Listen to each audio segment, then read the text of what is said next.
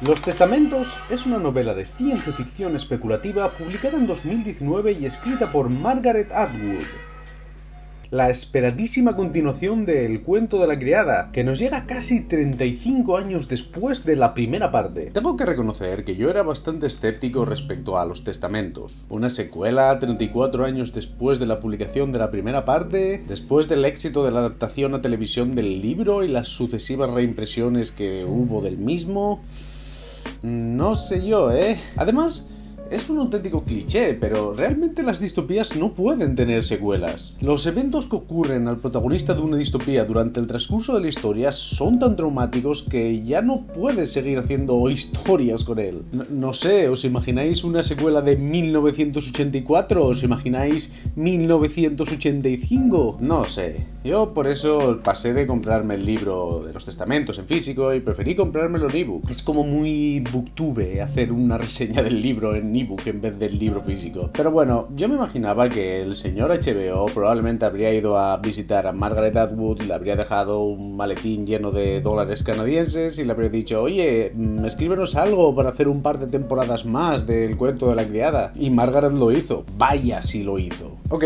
Sé que hay gente que se toma muy en serio el tema de los spoilers con el cuento de la criada, así que si tú eres una de esas personas, déjame decir un par de cosas y ya si eso luego te vas a leer el libro, ¿vale? Primero, no es una continuación directa del cuento de la criada, la protagonista de esta historia no es de Fred. Algo en mi opinión muy bueno, porque como decía antes, realmente de Fred no puede tener más historia después de la historia del cuento de la criada. Como personaje realmente ya no da más de sí. Segundo, los Testamentos es una novela buenísima, algo que no nos debería extrañar porque está escrita por Margaret Atwood y Atwood es una autora que te podría escribir una buena novela dormida. Y de hecho, ¿sabéis qué? Me gustaría que de verdad HBO hubiese dado un montón de dinero a Atwood por escribir una segunda parte del cuento de la criada, porque realmente se lo merece. En mi opinión, si miramos la ciencia ficción de los 80, hay dos novelas compitiendo por ser la mejor novela de la década y las dos nos vienen desde Ottawa, en Canadá. Por cierto, los 80 fueron algo así como la edad dorada de la ciencia ficción de Canadá, pero eso es otro tema. El caso, esas dos novelas fueron Neuromante y El cuento de la criada. Y esta última no tuvo ni de lejos el buenísimo recibimiento que tuvo Neuromante. Tuvo algunas buenas críticas, pero a ver, se publicó en 1985, un año después de Neuromante, cuando el cyberpunk estaba en la cresta de la ola, así que una distopía que tiraba más a lo clásico, a lo 1984, como podía ser el cuento de la criada, como que se veía algo un poco pasado de moda, algo un poco niche. Y a ver, la novela siempre tuvo su grupo de fans. Con razón hicieron una película de ella en 1990. Once upon a time in the recent future, a country went wrong. The country was called the Republic of Gilead. Only a very few women could still bear children. These women were called handmaids. Nadie se acuerda ya de la peli del cuento de la criada, con Elizabeth McGovern haciendo de The Fred, pero el caso es que hasta que llegó la serie de HBO, el cuento de la criada era una novela relativamente underground dentro de la ciencia ficción, y honestamente se merecía mucho más. Por eso yo creo que estaría bien que al menos Atwood recibiese un dineral por escribir los testamentos, porque honestamente se lo merecía. Pero bueno, vamos a dejarnos de rollos y ver de qué van los testamentos. Para ahorrar spoilers podéis ir hasta esta parte del vídeo. Aunque este va a ser un resumen peculiar, voy a introducir comentarios de partes muy muy específicas del vídeo, cosas que quiero comentar sin más. Vamos a ello. Los Testamentos es una novela coral con tres protagonistas. La hija de un comandante, Agnes Yamina, una chica de Canadá, Nicole y tía Lidia. Llamar Nicole a Nicole es un poco spoiler, pero bueno. De las tres protagonistas, tía Lidia es la que más peso tiene y la que lleva la voz cantante en la historia. La novela está escrita como si cada uno de los personajes narrase sus propias vivencias, y ya desde el principio es una, es una novela muy autorreferencial y que apela constantemente al lector. Me habéis pedido que os hable de cómo fue para mí crecer en Gilead. Paciencia, les advierto un silencio. Esto acaba de empezar. Estos tres personajes estarán implicados en una trama para acabar con el gobierno de Gilead. Pero la novela no tiene ninguna prisa y comienza desde la infancia de las dos chicas. En los testamentos se define muy bien, mucho mejor que en el cuento de la criada, la línea temporal. Por ejemplo, en base a lo que nos dice tía Lidia, podemos saber que la hija del comandante, Agnes Yemina, es de las primeras generaciones que nacieron en Gilead, si no la primera generación de niñas nacidas en Gilead y que la creación de Gilead es aún algo muy muy reciente. También se define mucho mejor a Gilead como ente político. Ahora sabemos que en lo que era el territorio de Estados Unidos hay tres países, la República de Gilead, la República de Texas y la República de California. Supuestamente este es el mapa que quedó después de un periodo de guerras. Asimismo, sabemos que Gilead está gobernado por un consejo de comandantes que a su vez escoge a un comandante jefe. En los testamentos, el comandante jefe es el comandante Jude. Durante la primera parte del libro, que es como más exposición de Gilead y del mundo de Gilead más allá de las criadas, se nos hacen muchas, muchas referencias al primer libro. Referencias muy sutiles pero que están ahí. Por ejemplo, en cierta parte se nos habla de una criada que mató a su comandante metiéndole una puñalada en su despacho. Más adelante descubrimos que la esposa del comandante estaba también implicada en ese asesinato, más o menos engañó a la criada para que lo hiciese. Y yo creo que ese es el final que iba a tener el cuento de la criada. Un final que acabó siendo muy distinto porque, bueno, a la hora de escribir cualquier cosa, el resultado final siempre es muy distinto de la idea original. También hay una puya para el fandom del cuento de la criada tremenda. En cierto momento, el padre de Agnes, el comandante Kyle, acaba recibiendo una criada a la que deja preñada y esta muere durante el parto. Esto afecta mucho a Agnes Yemina, quien se promete a sí misma en un futuro encontrar el nombre original de la criada y no olvidarlo nunca. E inmediatamente en la narración tiene que hacer un esfuerzo enorme para recordar cómo se llamaba la criada. Se llamaba Crystal, por cierto. Y es un momento que demuestra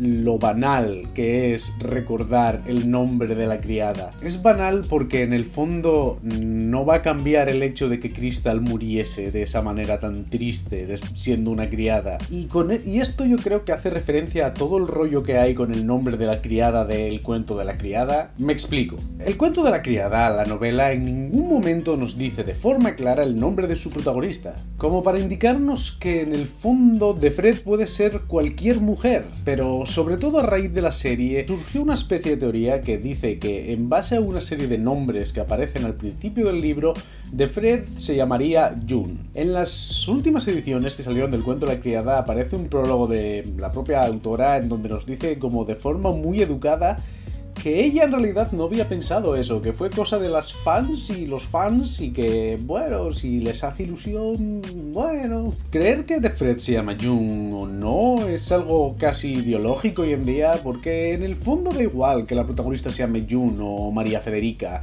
la historia sigue siendo la misma. Pero bueno, a partir de la mitad del libro, la historia comienza a coger fuerza. Ya desde el principio se nos dice que las tías, para ser tías de pleno derecho, tienen que irse de misioneras a Canadá o supuestamente a un país extranjero y hacer propaganda de Gilead para intentar traer de vuelta a una mujer con ellas. No es de extrañar, pero muchas mujeres se fugan de Gilead y por eso el gobierno junto a las tías diseñó este programa para intentar compensar todas esas fugas. También se nos dice que existe un grupo anti-Gilead llamado Mayday. Pues bien, por un lado, Agnes decide unirse a las tías para evitar el matrimonio. La única forma que las mujeres como Agnes tienen para evitar casarse. Y Nicole acaba formando parte de un plan de Mayday para infiltrar a una agente en Gilead a través de las misioneras. Resulta que Nicole es hija de una criada que consiguió escapar a Canadá. Y chan chan chan chan, resulta que esa criada también es madre de Agnes. Son hermanas. Las dos hermanas acaban formando parte de un plan de tía Lidia para sacar del país una serie de documentos comprometedores que acaban haciendo que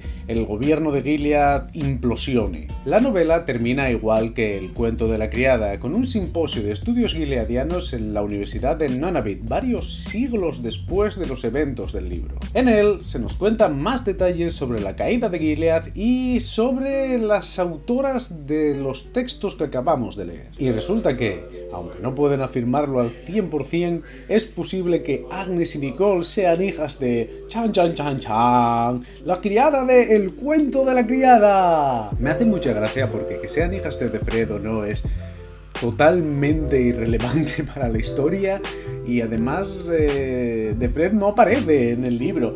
Yo me lo esperaba, yo me esperaba que en algún momento apareciese de Fred en Canadá o algo por el estilo. Y ya desde que te dicen que las dos hijas son hijas de la misma criada, ya ya está cantado que esa criada va a ser de Fred. Pero al final de Fred no aparece en la historia, o al menos no aparece de forma directa. Pero bueno, supongo que, que lo importante aquí es que el público termine contento.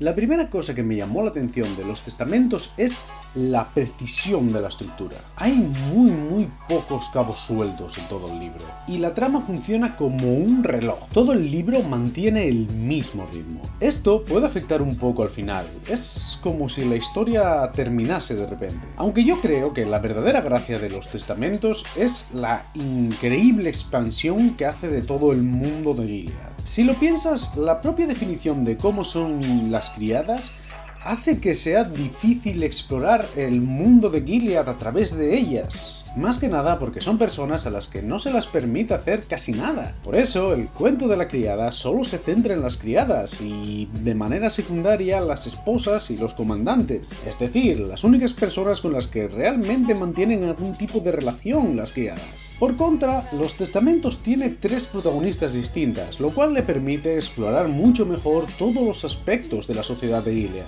Por ejemplo, a través de la tía Lidias aprendemos mucho de cómo funcionan las tías, cómo son, cómo se formaron y cómo funciona su organización. Y también mucho sobre cómo funciona la política en Gilead y cómo se relacionan las diferentes instituciones que forman el Estado de Gilead. A través de Agnes y Emina, curiosamente, aprendemos mucho de cómo viven las Martas y cómo se relacionan y qué espacios tienen. Están solo un escalón por encima de las criadas, pero vaya si se nota ese escalón. Respecto a la política de Gilead, es aquí donde encontramos muchos cambios respecto a el cuento de la criada. Por ejemplo, en El cuento de la criada se da a entender que Gilead es una parte de Estados Unidos, concretamente Nueva Inglaterra. Ahora Gilead es esencialmente Estados Unidos.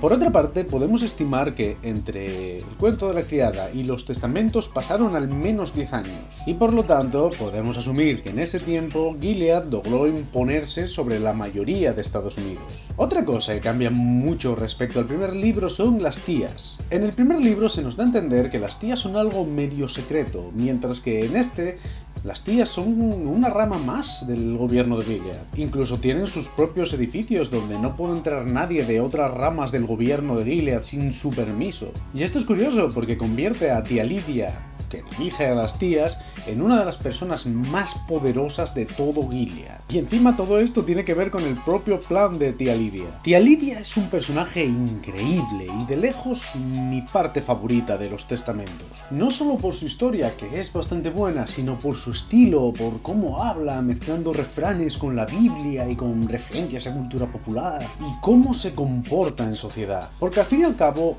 Tía Lidia también es mujer y Gilead también oprime a Tía Lidia. Pero es como si ella lograse ganar a Gilead en su propio juego, como si fuese demasiado buena como para que Gilead pueda con ella. Y el paso de lo que tía Lidia era en la primera parte y lo que es ahora me parece muy guay porque nos recuerda que en el fondo todo depende de la perspectiva. Antes sabíamos quién era la tía Lidia según De Fred, pero ahora sabemos quién es la tía Lidia según la propia tía Lidia.